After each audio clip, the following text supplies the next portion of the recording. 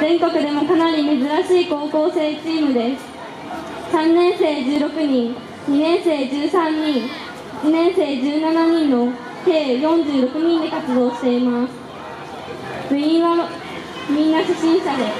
鳴子の持ち方から始め